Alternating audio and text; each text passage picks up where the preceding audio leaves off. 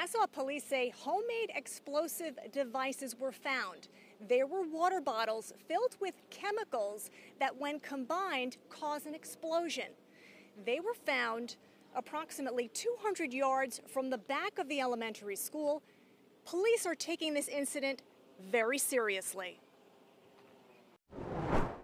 Multiple Nassau County police agencies are involved in the effort to determine who was involved in placing several improvised explosive devices on the grounds of Norman J. Levy Lakeside Elementary School in Merrick. This morning, about 9:30 at the Levy School, a parent was walking his child into school. It is the last day of school. They saw something that appeared suspicious to him. He walked his child into the school, came back to the gate, and he called 911. Nassau police say three of the devices exploded. No one was hurt.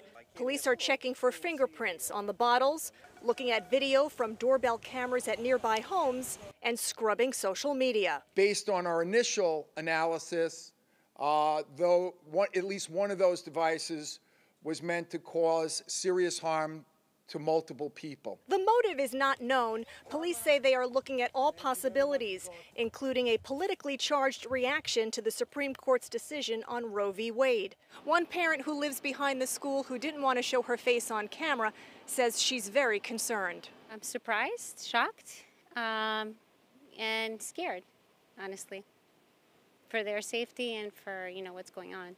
Police have stepped up patrols at over 600 locations in the county, including churches. This is an ongoing investigation, and police are asking the public for help. They say if you see anything suspicious, call 911 immediately. In Merrick, Liz Burke, News 12, Long Island.